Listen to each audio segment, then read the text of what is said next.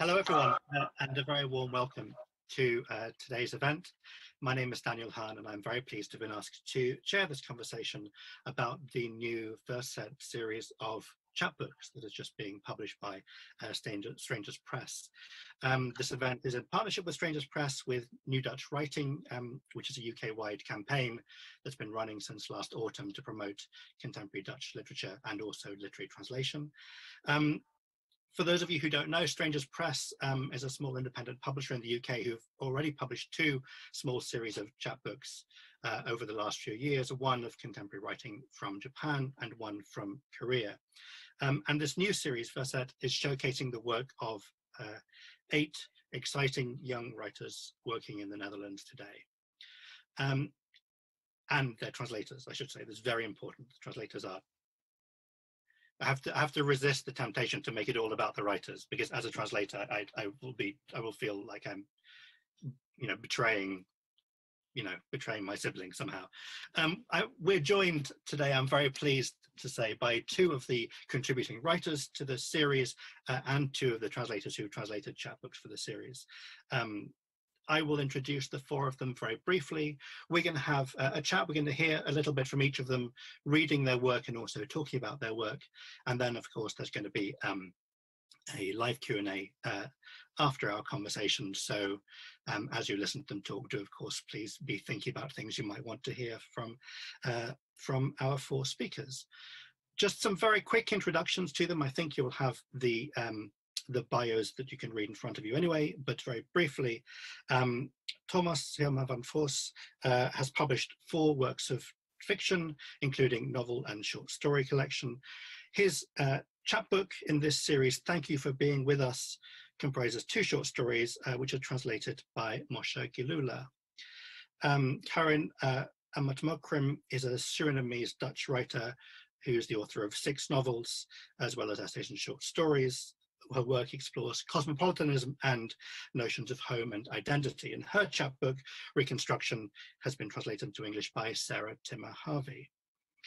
Alice Tetley Paul uh, studied German and Dutch at the University of Sheffield and an MA in Literature Translation at UEA. Um, she's currently the translator in residence for New Dutch Writing.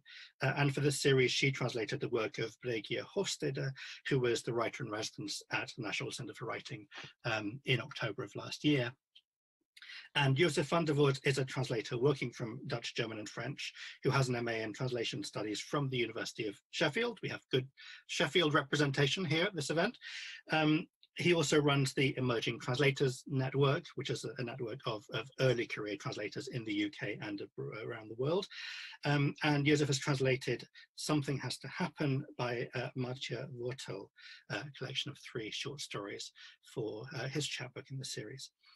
Um, because these are mostly new writers to the English speaking world and will be new writers to uh, to those of you watching and the chapbooks are very very new now um, I'm going to work on the assumption that uh, we have an audience who doesn't who hasn't read the chapbooks who doesn't know the work.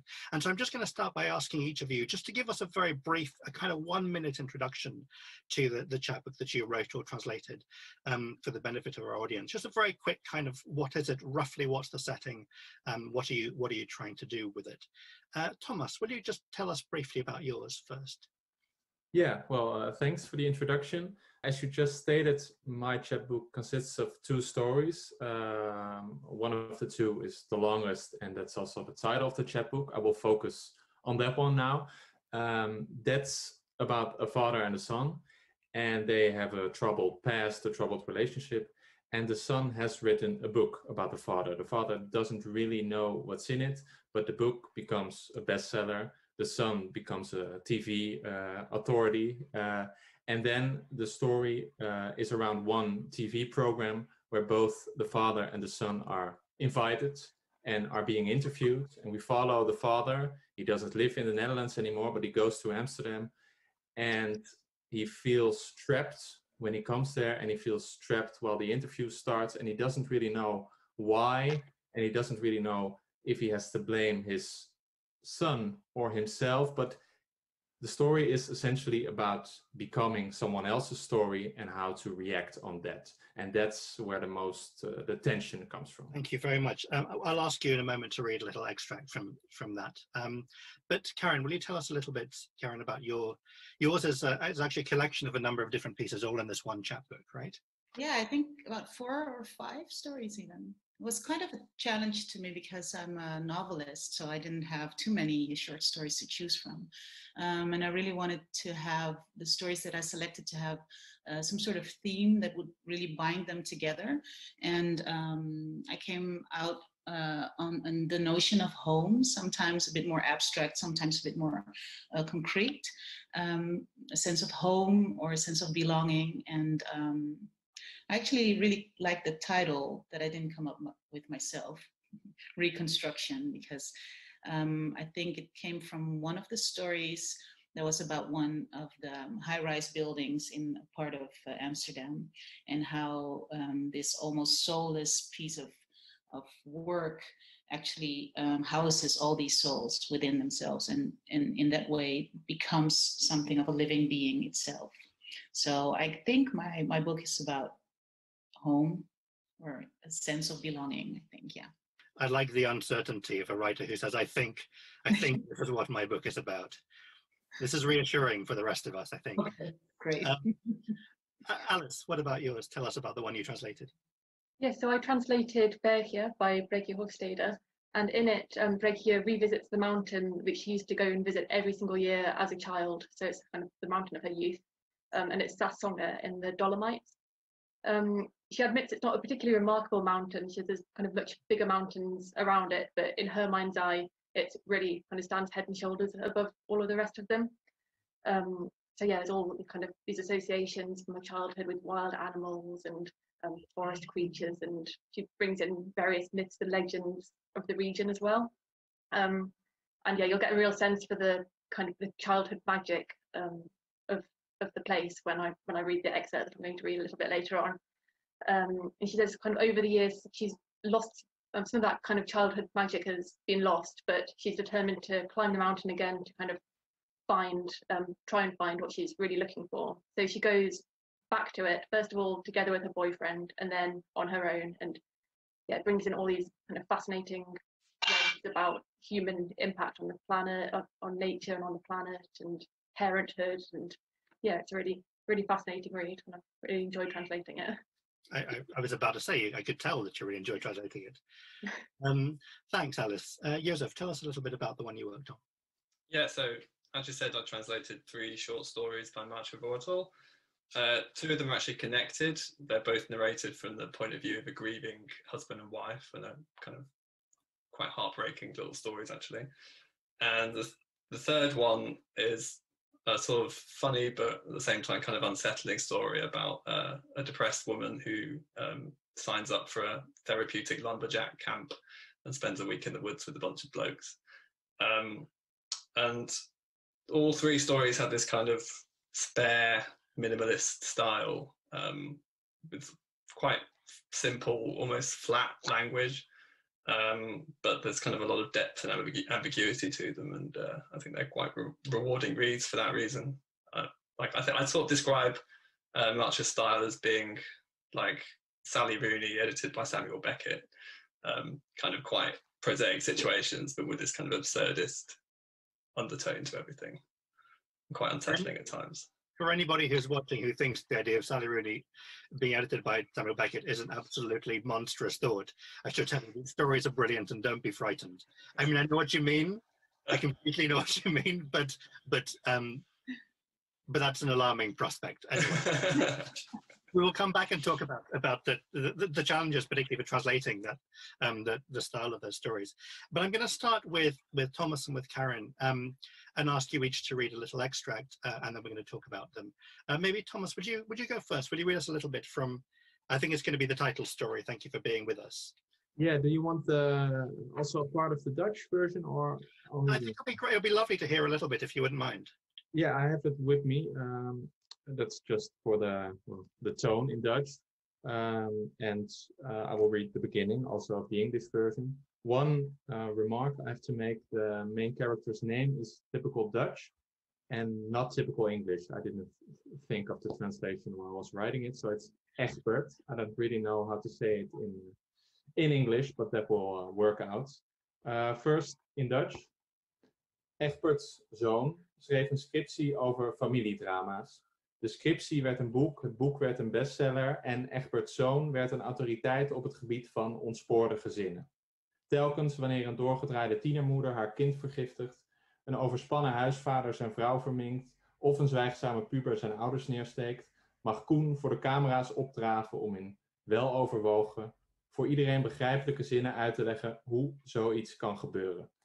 I don't know if you understood anything of that, but now will come the translation. This on my screen left to the camera, so I won't look you in the eye, but Egbert's son had written a thesis on domestic violence.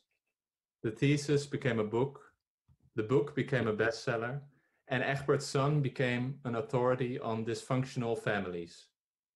Every time a teen mom loses his and poisons her child, a stressed out house husband maims his wife, or an unresponsive teenager stabs his parents, Koen is invited to appear on TV and explain in carefully formulated sentences that everyone can understand how such a thing could happen.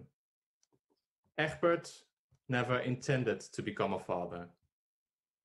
Children slobber and whine and demand constant attention. Marika thought so too. So they took precautions. Condoms, the pill. Their doctor said chances of pregnancy in such cases are less than 0.1%. Egbert still remembers the cold spring day when Marika and he heard those words. He'd insisted they go see the doctor, just to be on the safe side. He remembers leaving the surgery in Amsterdam West, straightening his collar and thinking, why didn't he just round it off to 0%? It's such a negligible difference. Now he knows. Koen, his son, is living proof that less than 0.1% isn't the same as zero. I will stop right here. This is the first part of the story. Thank you, Thomas. That's great. Um, I, I, had a couple of things I'm going to ask you about, and, and we'll move on to Karin in a moment. The first other thing I wanted to ask about is is is tone. I, I, obviously only have access to this through the translation, and so I'm guessing that the translation is is is conveying the tone of the original. And there's something that I thought really interesting about the fact that this is so this is a sad story. This is a story about a sad life in a way, it's a sad situation, a relationship, but it's very emotionally contained. There's a bit of humor which is quite subtle, which is sort of tonal humor rather than you know situational humor. Mm-hmm. And I wonder if you can say something about the, the process of finding that right tone. I mean, I suppose that this is kind of a question about process, about whether you edit and edit and edit, but it feels incredibly precise to me. Well, thanks, uh, first and foremost. Um, and that's, uh, that, that's, that's rather a good question or remark because that was something um, that was something I really had to search for while writing this stories this story in particular because uh, well it's about a father and a son like i just stated. And at first it was a first uh, hand so an i person story about the son but that became too complaining the son complaining about his father and then there wasn't really the focus of a tv program i switched it in a third person story and then after i think half a year i put the story away i picked it up and then i thought no i have to have to come closer to the father, who in in in, in the version of the son was really a, a distant, not really emotionally connected father, just an absent father. But he was kind of a cliche. Uh, I, th- I thought, and then I thought it's much more interesting if I go into the emotionally absent father. So I wanted to have someone who is distant. Uh, that's not just the son's version. He is kind of distant, uh, and I want to show how he reacts if he's confronted by his past, if he's confronted by direct questions in a in a really tense situation, a TV program that's not something that you can walk away from. And therefore, I wanted the tone to be calm. I wanted to be, well, yeah, precise, not about uh, big emotional statements, not about um, a long flow of thoughts, but I wanted someone who's losing control. That's that's what the story is actually about for me. So uh, the tone was really important for me uh, because not just it's not just about style, but it's also about the main theme of the story. I think. I'm really interested that you said that the perspective shifted as you wrote it, because one of the things that seems to me is really interesting about it is the extent to which this main this character, the father, is aware of how he looks to other people. Even very early on he sees his reflection somewhere i think it's in a shop window or something and he imagines he tries to imagine what he will look like to people when he appears on tv and a lot of this this is this is uncommon with one of Karin's stories as well actually. A lot of it seems to be about um, the extent to which we can see the insides and the outsides of people what is revealed um, and in a way it feels like this is the thing that this is the thing the thing that fiction does better than anything else. It shows us it gives us a way of seeing inside this character who has a very clear kind of shell a very clear kind of presentation to the world. Yeah and he's constantly reflecting indeed on how will i look how will i be seen uh, what will people perceive when i suddenly and back in amsterdam and that's that's the constant tension not only between him him and his son but also between how he looks on himself, how he looks on his past, and how he sees himself suddenly confronted in a window, in TV cameras, and all that kind of stuff. So that was the reason. It wasn't just a, a, a minor swift in perspective, but that was the reason that I really needed the third person, the third person perspective. There's another thing which which I mean, it's always tempting when you're when you're doing when you're kind of chairing these conversations to try and make connections between the pieces of writing. Uh, and we're going to hear from Karin in a moment. But but when i was trying to think of the things that they have in common or things that are different i was struck by a line thomas in which uh, in which Koen says when he's talking about th- this book the book about his his relationship with his father he says something like um, the book is a this book is a personal story but it's also a reflection of our times and I wondered whether that's also something you feel is a claim uh, you you might make about this story. Whether there are certain things, for example, the fact that you know a private story becomes owned by the public. Mm-hmm. Whether there is something about this story which is uh, which is not just the story of a person or two people, but is something that is about our our moment somehow. Yeah, well, um, yeah two things about this uh, i know the part of the dialogue uh, and i really wanted to put that part in because uh, indeed it's something that private problems via fiction suddenly become uh, problems that everybody talks about or that everybody can talk about that are in a bookshelf and stuff. I really wanted to focus on that via a story uh, because yes that's that's true what he says um, when someone writes about their personal problems won't just be personal it will, will become problems in the outside world. Um, and the other thing is that that i also really uh, want to like not, not really criticize um, the focus on private problems of authors but i wanted to uh, make it that also a theme that there are a lot of TV programs. I don't know how that's in England, but in the Netherlands, that only will invite an author if he's willing to talk about well his disease, his parents, and that kind of stuff. And I also wanted not ridiculize or ironize, but I wanted to also uh, make that a theme.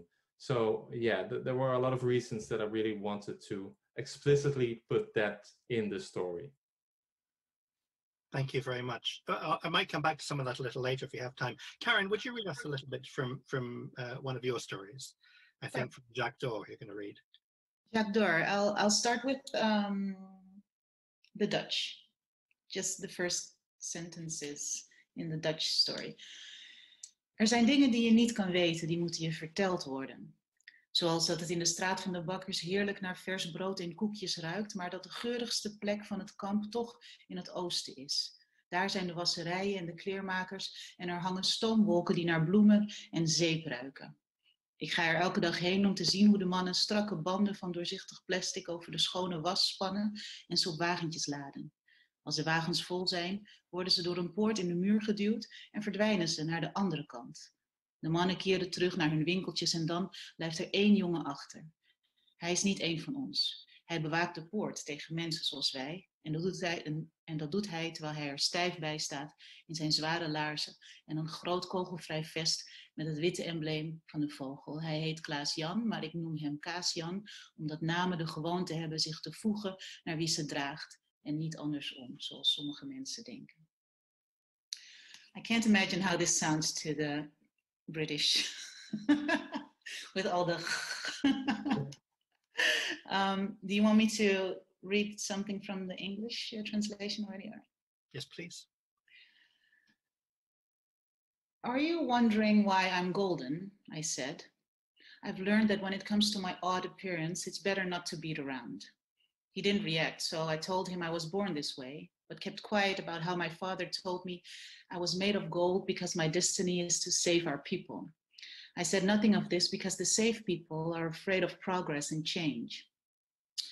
My name is Kiss, I said. Because you're made of gold, he asked, and I knew then that we would be friends. He was clever. I love clever people. Klaas Jan doesn't talk much. This makes him a good listener. I don't think there are many stories where he comes from. Here, there are more than enough. Some are horrifying, but I don't tell, tell him these. The second story I told him was about how, how I once was named Jacques. My father loved a man with that name, so he named me after him. The other Jacques sang in French. Sometimes my father sang along. It never sounded very good, to be honest. Also, I have golden skin. Not literally 24 karat before you get any ideas about cutting off one of my ears and pawning it, but I look like I'm made of gold. I blush and get all warm when I'm in the light, and my skin glistens like something precious. It's strange, I know. People here in the camp used to call me Jacques d'Or. The children at the camp school adopted it too, but couldn't pronounce it. So they said J'adore instead, which means something like I love you. It didn't take long before they began just making kissing sounds at me, and since everyone likes gold, it seemed like a good name, even though it isn't really a name, more of a sound like kiss, kiss, moi, moi. I've learned since that everyone kisses differently, judging from the sounds they make when they imitate it. Sometimes I'm walking in the streets and I hear smack, smack, how are you? Or chip, chip, say hi to your sister. Sometimes there's sounds I can't even copy, let alone write down. Sounds without vowels, sounds that require facial expression. You'll have to imagine for yourself. In any case, I was once called Jacques, though, ev- though everyone has long forgotten that name, and I was born with a golden skin in a camp I cannot leave.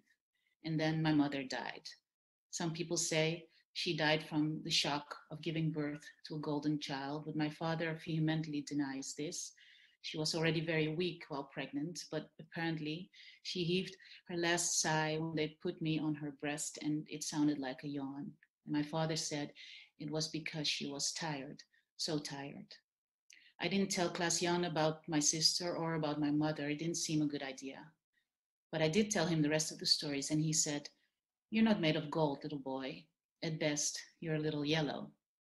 I thought about this for a long time. I concluded he would rather think me, think of me as a lie than think of himself as living one. Some lies, as Klaas would say, are safer than others. Thank you very much. It's it's weird doing these Zoom things because I feel there should be there should be clapping at this point. Imagine imagine there is clapping after each of your readings. We have we can yeah we have to just use your imagination a bit. Um, thank you for that, Karin. I, I have a, a few things I want to ask you about that, um, about that extract, but also about the the story and the and the collection of stories generally.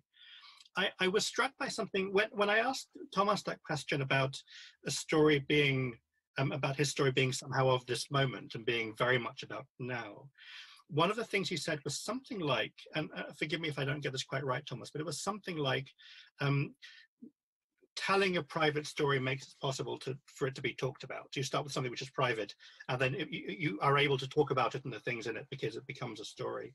And I wonder if there's something in that in in the thing that makes you want to write whether writing is the thing that allows you, or writing fiction particularly, is the thing that allows you to to talk about the things that you want to talk about, to ask the questions you want to ask, to get other people to talk about the things that you want them to talk about. Actually, for me, I think it's it's a mm, well, it touches on this. I think for me, uh, writing is it's not a way of being able to talk about certain things. It's more of um, researching or, you know, I, I, have a lot of questions um, and I wonder, how does the world work?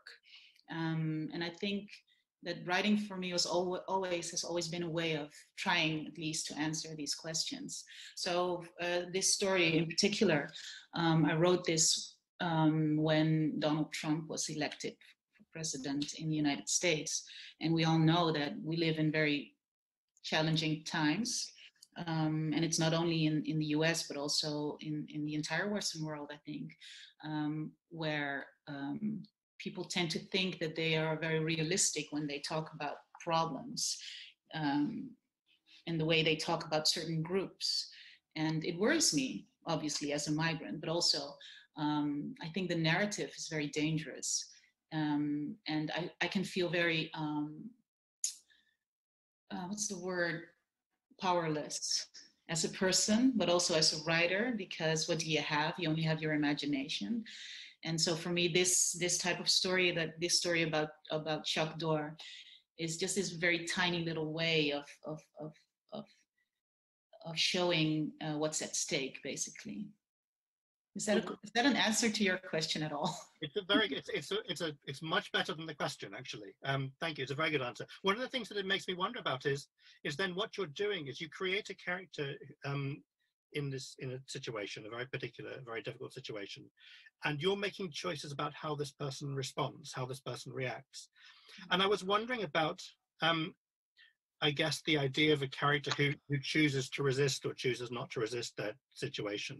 Again, this relates a bit to Thomas's story, um, because Kiss Kiss, he uh, he's not a this is not a kind of complaining sort of character mm. and there is sort of there is resistance he uh, kiss kiss has a sister who, who who wants to who wants to resist much more than kiss kiss does but i wonder whether kiss kiss's own way of being in this place smiling waving making friends being optimistic about things whether one of the things that that shows us that's also a kind of resistance that we see uh, maybe, but um, in any way, in any case, it's it's never um, my idea to judge what stance one you take. I think this story in particular is about how we find refuge in in telling stories. Um, so this whole idea of him being a golden boy, of him being like this hope for his people, mm-hmm. is is very ridiculous, of course. Um, but maybe this is this is was in hindsight was my way of, of maybe uh, comforting myself in a way saying okay so we we do find refuge in in story um, because they can give us hope even if in the end um, they won't they won't rescue us at all these stories. Um, but still the stories when we tell them to each other is this a way of living right? It's just a way of breathing i guess. So I think this story isn't really about showing what what particular position you can take within the world or in the field, but more the power of, of story actually. Because a lot that there's something about about the meaning that stories give, but also the structure. Some of some of some of uh, this story is structured in terms of the, the, the second story I told him was the third story I told him was, and so it's framed as these kind of contained units that are that are reasonably meaningful and reasonably safe somehow. Yeah, yeah, yeah. And it also shows, I think, um, how important it is exactly what we tell each other. Because if you leave part of the information out, it immediately colors the rest of the information that hmm. you do give. Um, and also, for me, it was like a way of playing with with with the with the with the story. Just okay, so this little boy, this kiss kiss, he thinks about it okay what can i tell my new friend my new friend is the guard of the camp that keeps me prison hmm. um, what stories can i tell him and what stories can't i tell him it was actually a very fun story to write even though it's such a very heavy topic yeah. yeah. and i ask something slightly this might sound like a slightly strange question i was struck reading um, all, all the different stories in this chapbook and it's clear that they have certain things in common thematically they have certain things in common um, but they're also very different in tonally they're quite different in setting they're quite different in the way the stories are told and i'm always curious um, and I, I ask this question as someone who does not write fiction whether this sort of variety in the way you tell a story. Whether the variety is partly for you, whether partly it's a way of trying things, not being bored, try a different thing. It's obviously it's effective for a reader, but I wonder how much it's also Oh, that's very good. to try things. Yeah, that's a very good question. For me, it's um, so I, I, always start with a question in my head, um, something that I want to explore actually, and then um, I find a character, and then when I find a character that can really carry the the, the story for me, I try um, different voices, and then I choose the one that fits him best, in my opinion. And I've heard this comment before, um, saying that all my books are quite different from each other. Um, and one one uh, journalist said, and I was really struck because it was so accurate, and that uh, what really binds my work together is that it's always about people who are just just outside of the group looking in and i think that's really the only thing but the style definitely. I think uh, sometimes like the, the story with uh, with thomas what he said some stories really need some some type of humor in it and some stories really don't. And um, it it's really really depends on on the characters i think for me. Yeah. I don't know how it is for for thomas though. Thomas what about you? Do, do you do you see a kind of are these things in common across your writing uh, yeah, and, and indeed, it's a it's a good question because it's uh, it's it's something I also think about when I look in hindsight to the stories and books I've written, uh, and and what binds them and what makes them different, and that, that kind of questions. Uh, but when I'm comparing it to Karin, and not just what she just said, but also the the books I've read uh, that that she wrote, um, is that my stories and books I think they are more thematically linked and the main characters well they aren't obviously not always the same uh, not at all but they could be well distant relatives i think. And there are some themes um, for example how do you look t- to yourself like we just talked about uh, about uh, regarding my story uh, that are themes that that always s- slip uh, in my story, sometimes uh, dominantly, sometimes in the background. But I think there are um, some main themes, also family, which is also uh, a big theme in the story I just read a, uh, an expert from, uh, that always come back. And of course, I try to vary in style and in, in, in main character and in perspective. But I don't want to. Well, you have some authors that that want to like break free every new book and do a completely different thing. I'm not one of those authors. I try to work uh, further and I hope hopefully deeper and and better, but on the same yeah playground, the same field. Thank you very much. Uh, we're going to listen to uh, Jozef and Alice now reading, um, talking about writers who, who like to do something different with every book stylistically or thematically. This is obviously the translator's job. Um, so let's hear just a quick reading from, from each of our translators, and, and I'm going to ask them a bit about their experiences with these, uh, with their translations. Alice, do you want to go first? Yeah. Imagine you're five, six, maybe 10 a homemade calendar has been up on the living room, room wall for months, counting down the days. Every night before you go to bed, you or one of your sisters gets to cross off a box. It's a Dutch winter, dark, wet, grey, cold, chapped faces, taut mouths, busy parents, cabin fever. You know that once all the boxes have been crossed off, you'll get on a train that will transport you to a dazzling week. Sun on glistening snow, hot chocolate with whipped cream in toasty mountain huts. Then, by the time you return home, there'll be crocuses in the garden. You leave on Friday straight after school. The first leg of the journey isn't particularly exciting. You simply walk to the station and take the local train to Arnhem. Grandad's there, waiting. He'll bear the title the Duke of Salis for the duration of this trip, because he's paying for everything, and because, to keep out the bright Italian sunlight, he's attached black leather flaps to the arms of his Salis glasses. Thanks to the Duke of Salis and to your outfits, which clash with those of the other passengers, this part of the journey is the most exotic. You and your sisters wait on the platform in Arnhem in snow boots, hats, and ski pants, mittens dangling from your sleeves as a triumphant wave goodbye to the ordinary. Farewell, boring things. Hello, mountaintop. Iron on patches from previous trips announce your destination. Refugio Porcel, 2,065 meters. Lagazuoi, 2,753 meters. Scuola di Ski Colfosco. My dad still has these on his winter coat, which has since faded from navy to light grey. You have to change trains a few times, chasing each other up and down the cold platforms, sliding down the handrails, eating an apparently endless supply of currant buns, tangerines, and scrubbed carrots from a brown paper bag to stave off fatigue. At night, you get to sleep in the top bunk in the sleeper train.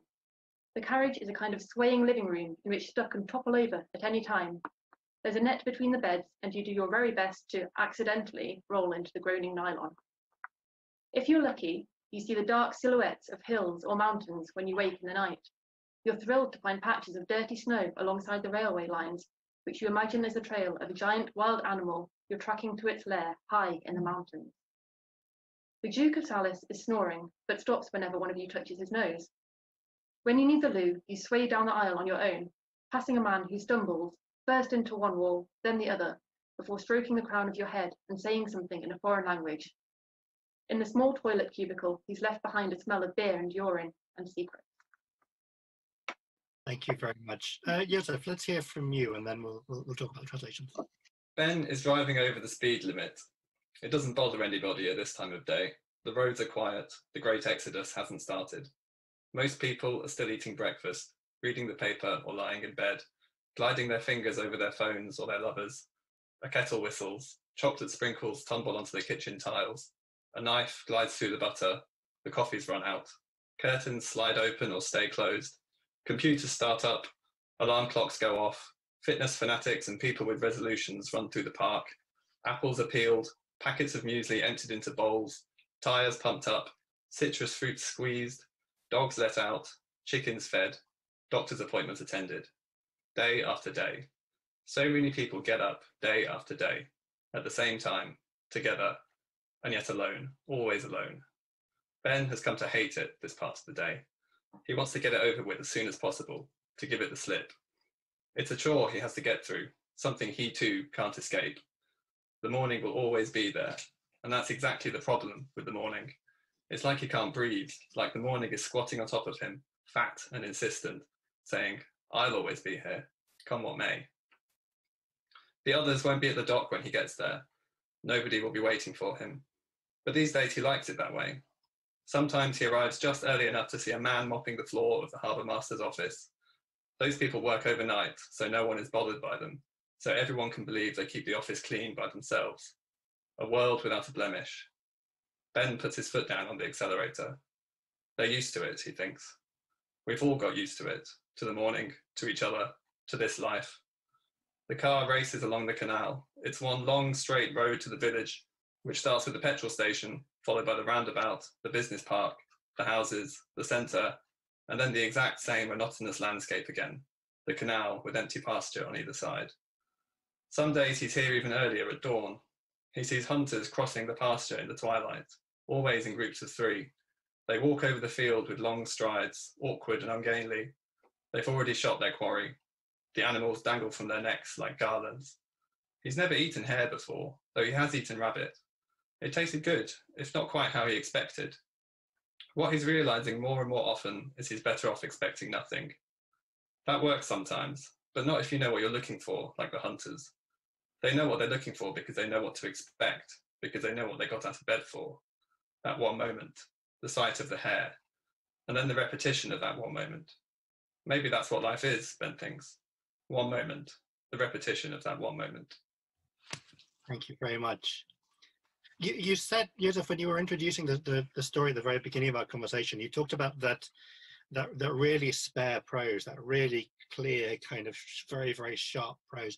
I wonder if that caused problems, whether that was a challenge to try. I mean, every, every translation has its own challenges, but I wonder whether that's one of the things that was difficult about this, is, is managing that kind of restraint and resisting the temptation to to kind of fill it out somehow. Absolutely, yeah. That was probably the because um, this translation was, along with all the translations, was uh, was a mentorship. So I was working with a more experienced translator. In my case, that was David Doherty. And that was kind of the main focus of our conversations, really, because my initial reading the story was, oh, this is all very simple language and it's going to be straightforward. It's going to be adult. This, this will be fine. And then when you get into it, it's uh, it's really not because you've got to stay so faithful to just the the sort of stripped back quality of that prose, and also the fact that uh, Maartje Wortel uses so much ambiguity in her writing. So uh, I was forever being picked up well in places where I decided I decided what this passage obviously meant, and you know David would point out actually she's not specifically said that. It's quite an ambiguous phrase that she's using there. You need to find a suitably ambiguous way of rendering it in English. Um, and then forever, I'd come up with a sort of flourish that I thought worked quite well, and David would say, "No, this person would never say that. This is this is far too literary. You know, this is a very flat style. You need to to rethink that." So, no flourishes, strictly no flourishes. yeah, exactly, because they stand out a mile. Um, things like that, and he was absolutely right. So, yeah. And was the was the author involved in this? Did, were you one of those translators who?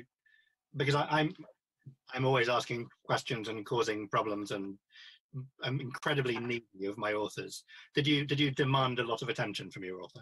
Um, I had a few questions and they went unanswered, and um, yeah, I had zero contact with Maartje in this translation. Which um, I mean, I can't comment on what her schedule was or anything like that, but I kind of it kind of feels in keeping with her style and approach to things. It's almost I feel like she just wanted to see what I thought of it, um, what I came up with, and didn't want to steer me anyway because that's her whole if you, you know, if you read these books, that's her whole kind of modus operandi. Is it's just to leave room for interpretations, and that came out so often between me, the mentor, the editor. We all kind of made suggestions or or made choices where um, it's suddenly apparent that you've read something into it that actually isn't quite there, but could be there. But mm. it could also be alongside several other things. And I think that's what makes these stories so interesting. Yeah. And you had you had plenty of contact um, with your author because she was around. Um, Brechtje was was in Norwich, as we said, for, for, for a bit of last autumn. Um, did, did having an author around make it make the difficult things easier? I mean, did you did were you able to do things because you had access to her? I think it was really beneficial for me to be able to. I mean, I had already met Brechtje before a few years ago, but to be able to spend more time with her and get to know her, especially because um, the chapbook that I was translating is very much based on her real experiences. So she could tell me a bit more about them. She also told me how it came about originally. So she, it's part of a, another series of um, books about people about um, authors going on walks, and they're meant to be kind of ones that you can put in your pocket and take along with you on on a walk. And she told me all about how it, how it came about, and also about a bit but more about her relationship with her boyfriend, which is interesting because he he pops up in the story a few times. Um, and yeah, it was really helpful. So kind of to get a general idea of her, but also if I had specific questions, I could ask her um, for a bit more detail, and she could really paint a clear picture. That was very really useful. And what were the things that were particularly difficult about this? What were the what were the problems that that were that were particular to this text? Yeah, well, mentioning the boyfriend, um, um, if you read it, you'll see it, it throughout the text. He's, he's referred to as the boy simply. In in the Dutch, it was de jonge, which was a big um, problem translating that into English, really, because at first we thought the boy maybe isn't the best solution because people might imagine it to be a kind of a young boy or her, her own child. But yeah, kind of back backwards and forth with my mentor Jonathan Reeder, who's been absolutely excellent throughout this whole process. And in the end, we decided we would just stick with the boy. We thought the context kind of made it clear, and we we decided to go with that in the end. The title is another um, yeah another one of those things where we thought about it, thought of potential other options, and then in the end we decided we'll just stick with stick with the Dutch Bergje. So um, for any non-Dutch speakers around it, kind of well, Berg is mountain, and the the J is the diminutive, so little mountain. Um, and yeah, I'm sure the more astute reader will notice the um, play on words um, with with her own name, so Brechtje, Bergje. And this is explained relatively early on in the text itself. So we decided we'd just leave it there, especially with the picture of the mountain behind as well. Um, yeah, we had to um, add a few, add like add a few words in around where it is explained, just to make it clear to English speakers what happened. yeah, we got there in the end. But no, it's really useful to have Jonathan to kind of throw ideas backwards and forwards, and um, yeah, he really helped kind of tidy up the whole translation as well It's a really interesting process, and it came it, came out something really beautiful. I think. Um, I, am curious, just briefly, either Karin or Thomas, um, what your experiences were of being translated for this.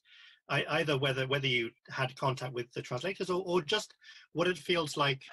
You know, you both have have brilliant English, obviously, but reading this work, which is um, which is yours and not yours, what your what your what your relationship is to this thing. Thomas, what's how, how was your your translation experience this time?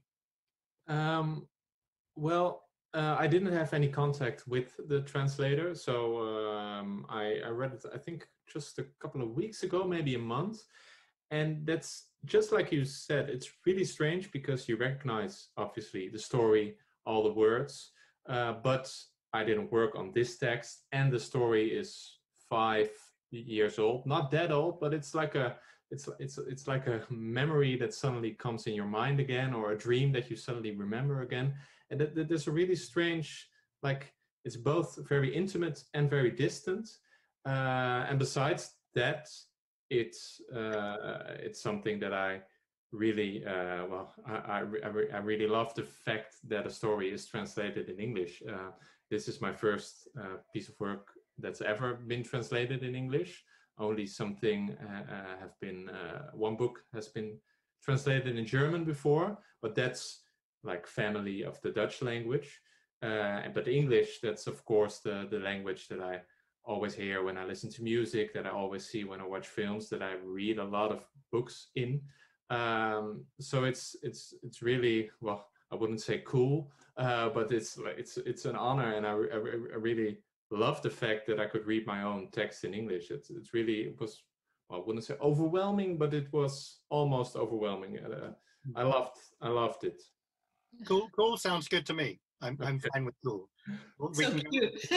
Karin, Karin what, finally, what about you? What was your what was your experience of this? Uh, I had a really good experience. Oh, before I, I talk about that, I have to say, um, Alice, the crocus uh, crocuses it's like like so like in Dutch the, the flowers, right? It's a crocus, and I never knew. Is it a British? Is it an English word? Crocuses. Crocuses. Yeah. Crocuses. Yeah. I love that. And also, uh, Jozef, I, I I know Maartje Wortel's work a little bit, and I, I really am I'm kind of struck by how well you you managed to find the rhythm.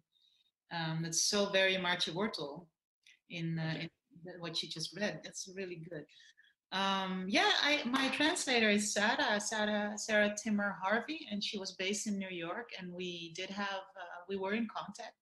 And I'm, I'm sad that I didn't meet her in person because she sounded like a real nice person.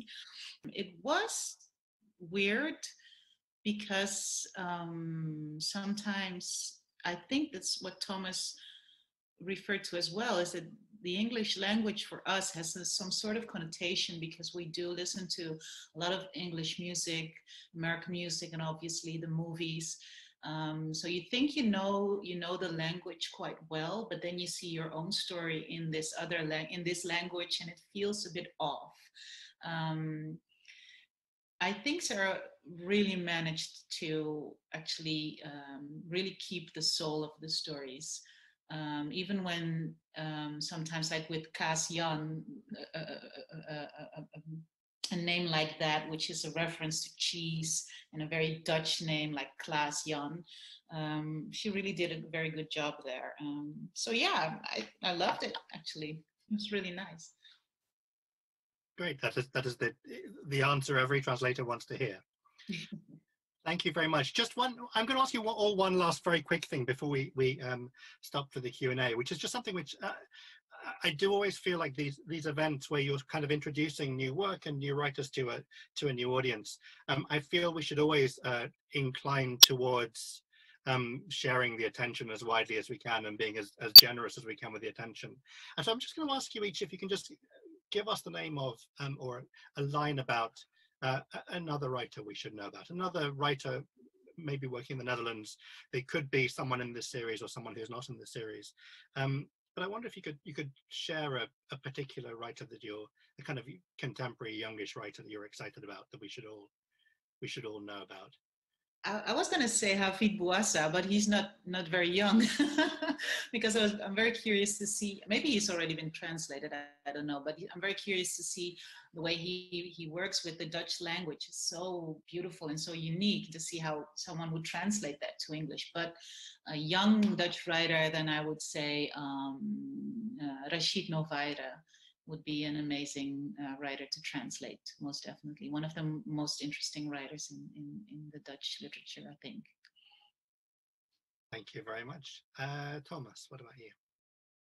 Um, well, uh, the first name that came to mind, and that's the name I'm going to share, is uh, a writer Lize Spit, who's uh, really famous in, uh, she's Belgian, but also in the Netherlands and I know uh, that her debut de- debut novel that was published in the Netherlands, I think four years ago, will be published uh, in English anytime soon. That was called Het Smelt, It Melts. I, am not sure if that's also the English title, but that was, apart from the success, that was a really good, um, thorough, um, well written uh, tense and dense debut novel that was really a hit here and that was really uh, that really blew me away when i read it first and i think that will be published anytime soon in english so yeah i would recommend that.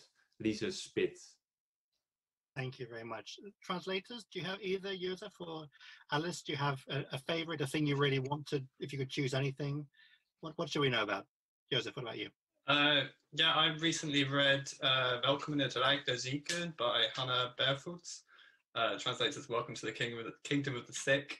And it's just, it just kind of blew me away. It's this really wildly imaginative, allegorical story about um, chronic illness, which is something the author has uh, plenty of experience with in her own life. But it's, uh, that makes it sound kind of uh, a bit worthy perhaps but it's just wildly inventive and imaginative and uh, kind of experimental but in all the good ways. I think that should be translated. Brilliant. Thank you. And alice do you have a tip from you?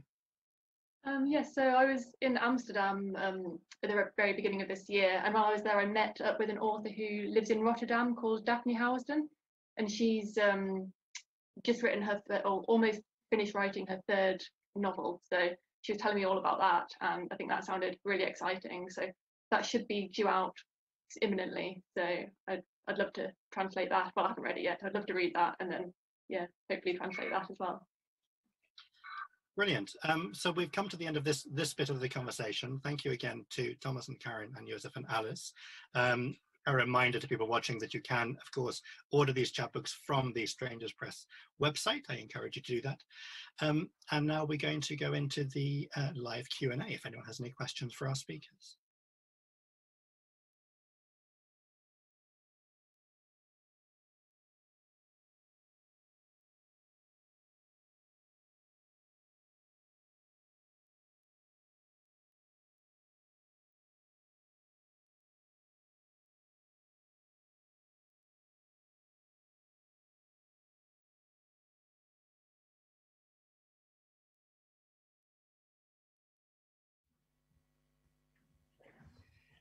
Well, I'm still here with our two writers and our two translators. I hope um, those of you who've been listening to the conversation have enjoyed it. Um, as you will have gathered in these last 15 seconds, we have all rapidly changed clothes, aged very slightly. Some of us are a little bit more disheveled than we were. Um, we're now at the, the, the, final bit, the live part of this event with the live Q&A. The only thing I was going to say before we look at the, the, questions that you've been sending in is one of the things that has happened in the few days since we started uh, recording that conversation um, is I have now received these very lovely things. Um, so I now have I now have visual aids to demonstrate how beautiful this collection of chapbooks is that we've been talking about. It's lovely to have the real things in my hand. Um, thank you, the four of you, again, for that really interesting conversation. Um, we have a number of comments uh, in the chat. There was a huge amount of just kind of general enthusiasm before anyone got the nerve to ask questions. There were lots of, there was clapping and there was, there were lots of hearts and there was general sharing of love on this chat thing. Um, but we have a few things, uh, a few specific questions. Uh, and one of them I'd like to start with is, um, is from Kate, whom you know, um, about the, the residency programs that are part of the Verzet um, uh, program, the Verzet campaign. Um, Alice uh, is the translator in residence as part of the Dutch, the new Dutch writing campaign. Thomas is going to be the Verzet uh, virtual writer in residence in Norwich. Um, and Kate wanted to know a little bit about um, your, your thoughts about those residencies and those experiences. Alice, let's, uh, since you started first, tell us about your, your thoughts about that residency you're doing. Well, it's been an absolutely fantastic residency so far, and it's been really varied. So there's different different strands of it. So it's all part of the New Dutch Writing campaign, um, and it's kind of run also through um, Modern Culture. So Rachel Toogood and Martin Colville are kind of organising that.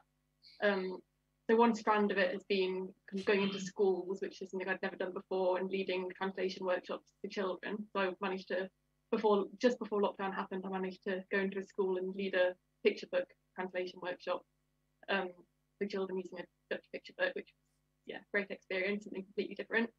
Um, also, another strand has been going into university. So I've kind of worked along alongside Jonathan um, as part of the University of Sheffield online translation project as well. So we worked together for that. And then the chapbook was another strand of it. So yeah, there's all these all these different parts of it. And for the whole campaign, I've got Jonathan Reeder who's mentoring me. So it's been fantastic to get his experience as well and learn lots of different skills whilst also kind of sharing my knowledge and the enthusiasm for Dutch literature in, in translation. Thank you. Thomas, you haven't started yours yet. You're going to be the, the Verzet, uh, virtual, I don't know what this means. You have to tell me what this means. What are the virtual writer in residence going to do? Well, that's um, that's not entirely clear yet. It will start at the first of October, I think, and of course, it's unfortunate that I can't just go to Norwich.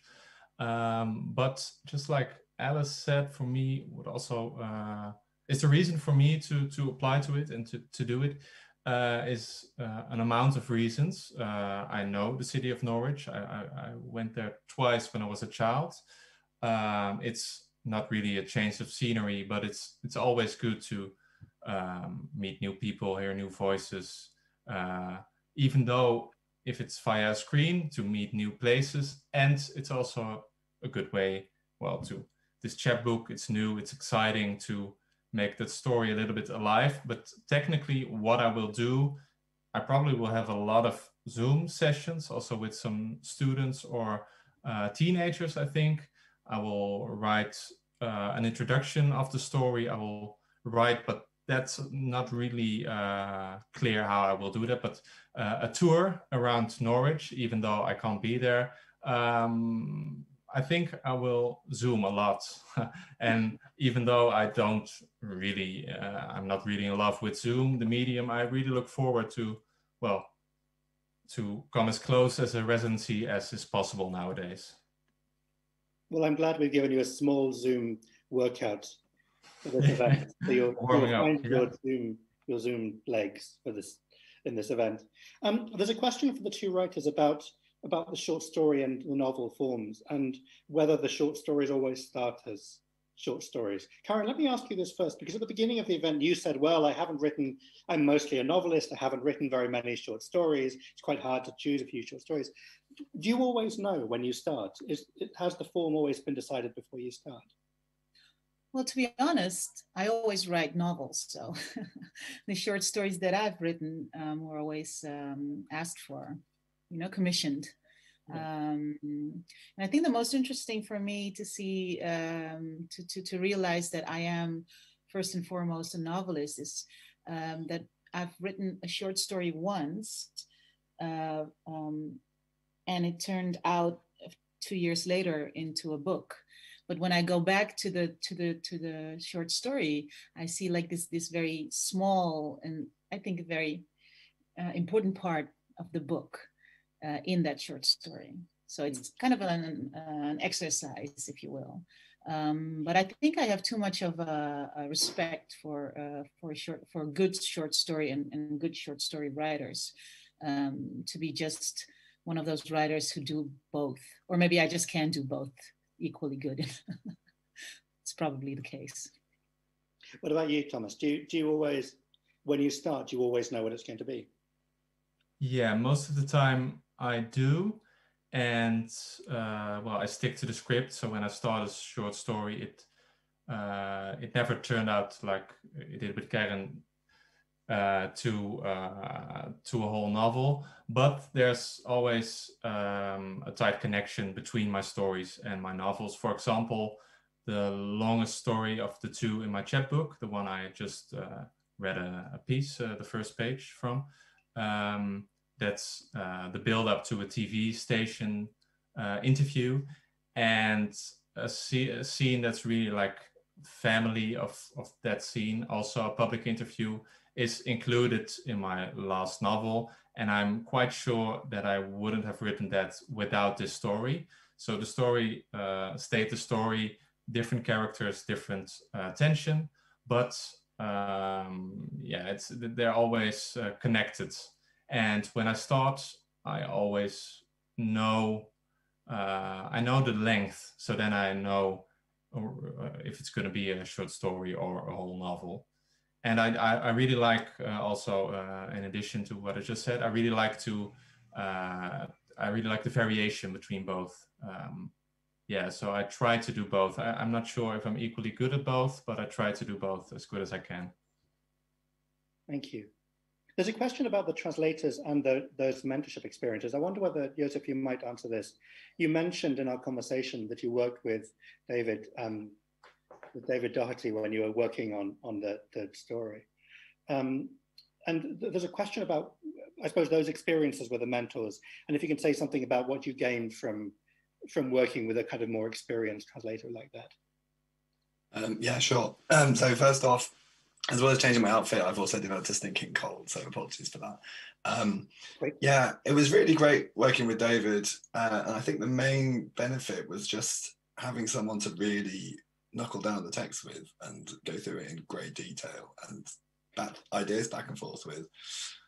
Um, but also, well, we, we brought different things to the text, and I was talking about how the short stories hinge on ambiguity, really, very productive use of ambiguity it's possible to read all different kinds of things into them. I feel like David and I gelled with different aspects of the text in different ways, and that made it especially productive because between us we could pick each other up and say, actually, you know, I think this is not what's going on here, or I think we're bringing our own. We can identify each other's own preconceptions of what we brought to the text, and that helped us really kind of stay true to to how open ended they are. Um, so I think it was really helpful in that respect. Thank you. There's another question for, for the translators from Danny Gwynnon, who was one of the translators in the, in the pro project. Um, following on from what we were talking to Thomas and Karin about, uh, I suppose that the difference isn't kind of launching into a short story or launching into a novel. Um, the question is about whether that is different for a translator, setting off to translate a shorter piece or a longer piece, if there are thing, different things you pay attention to. Alice, what about you? Do, you, do you, does it feel like, regardless of what kind of piece it is, the skill is basically the same, or the the process is basically the same. Yeah, I haven't actually translated a full length um, novel yet. So um, my experience has been mainly with ex extracts or like short stories. Um, so I can't really compare how it how my process works to a novel. Um, but you've done, different kinds of things and different kinds of writer, um, including a children's story and various different kind of things. I wonder whether essentially it's, it's it's sort of the same job regardless of what what the input is. I think yeah, I think it's probably the same kind of process, and you just adapt it depending on depending on what exactly you're doing. Um, mm-hmm. Jozef, what about you? Having done uh, having done novel length and shorter pieces as well. I think there's uh, an extent to which with a short a short story, you're really paying much more attention to every word. Um, which I mean, obviously when you translate a book, you you, you a full length book, you do that, but not every section of it carries as much weight in the overall narrative. Sometimes it's just a vehicle to get from A to B. Whereas in the short story, because there's this intense focus, it feels like everything there is there for a reason, and you have to really suss it out. but also, I mean, the fact that it's a shorter length means that it's more feasible to go back and reread and reread and reread and uh, really nail every sentence. Um, so, in terms of how the, the work actually you know, how I actually tackle the work. The, the, the workflow felt, felt slightly different to me in this case. Thank you. Um, there's a, I have a factual question for the two writers, a very straightforward one. Are Thomas's and Karin's books going to be translated into French? The person who's asking is a French native and also a translator. So very, very straightforward question. Karin, uh, will you be in French at some point? I hope so. but there, there are no plans at the moment. Well, we have a we have an eager translator watching. That's a good start. Thomas, what about you? For me, exactly the same. Uh, no uh, plans, but the, the same hope. Great. I'm going to ask one last question before we wrap up. Um, from this is actually from BCLT. Uh, no, I'm sorry, this is not from BCLT. These things are moving. This chat thing is moving slightly faster than they keep up. Um, a second, this is from uh, JC, and the question is um, how you feel about writers who write fiction directly into another language instead of their own native language, their own first language. And I wonder if you can say something about that choice um, to write in one language or another. Karin, from, from your point of view, say something about the making a decision to, to write in Dutch. Well, to be honest, um, so Dutch is my first language, yeah. so that's naturally the language that I write in. Um, I, I I do write in English occasionally, but um, the story tends to unfold in a different direction when I when I start writing in English. So I have it in my mind um, in Dutch, obviously, but then when I start writing in English, the language just takes me into another direction. So it's very interesting to see, but I think it also has to do with the fact that I don't know all the details, obviously, and all the, the nuances of, of the English language. So um, I try to. Um, but it's different. I cannot translate myself. I cannot translate uh, uh, 100% from, from Dutch to English myself. So then I'd rather start in English, just right from the start, start in English and then see what happens. And is there some temptation? I mean, because obviously both you and Thomas have, have excellent English. Um, I, I, wonder what that temptation is, even to try to move between the languages, to try writing something in English. There is a kind of, you know, corporate pressure as well as the other thing. Um, what what is the thing that makes you want to want to try that other thing, that other language? Uh, well, to be honest, for me, it was just because I I did a um, I, I received a fellowship in Oxford last year, so I um, I taught a few I, I gave a few uh, classes in Oxford for for the term, and um, sometimes I wanted to read to my students uh, parts of my work that weren't translated yet. So I did have a lot of a few translations, but some of them weren't translated, and um, so I had to do, do it myself. And then I came up with completely different stories. But you know, just go with the flow then. Oh, that's exciting and and risky. Interestingly risky. Thomas, what about you? Do you have a do you have a temptation to to try writing in English or to try something else?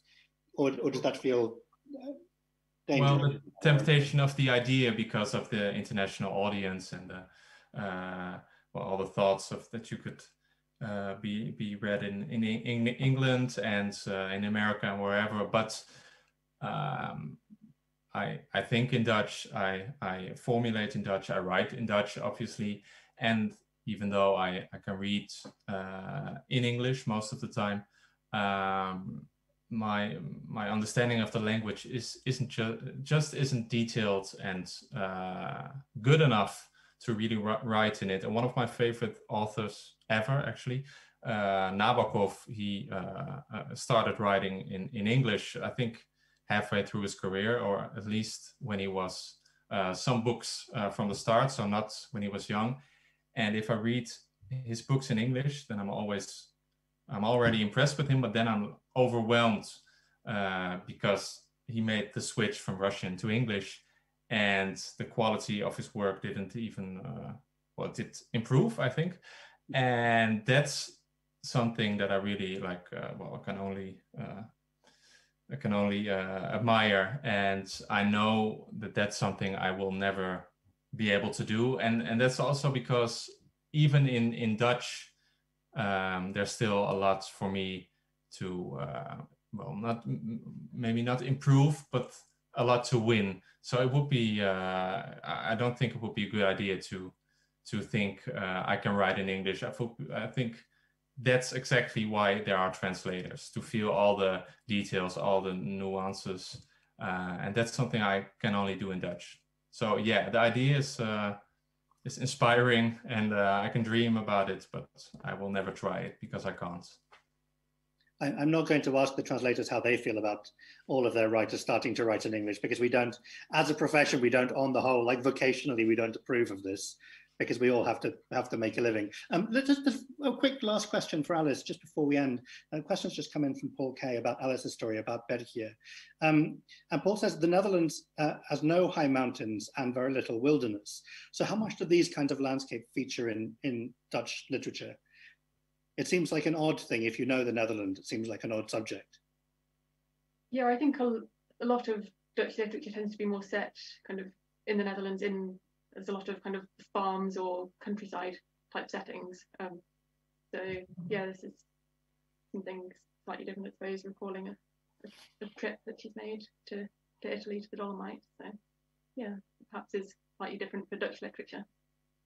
There is some, somewhere further up the chat, there are comments about the lack of mountains in, in the Netherlands and indeed in Norfolk it's not, not very far out the chat. Um, we're going to have to come to an end uh, there. Thank you to those of you who uh, asked questions. I hope we got through uh, all of them or most of them. Um, we're going to thank, of course, um, New Dutch Writing, who uh, have organised this event with the National Centre for Writing, um, who are hosting it. Thank you to Martin, of course, who's done all of our tech and made it possible for you to see and hear us. Um, thank you to Strangers Press, who've produced these beautiful things, which you can now order uh, from the Strangers Press website, and I'm sure many other places. Um, and thank you, finally, of course, to our four speakers, Karin Amatmoekrim, Thomas Heerma van Voss, Jozef van der Voort, and Alice Tetley Paul for a fascinating conversation. Thank you all very much. Thank you. Thank you. Thank you.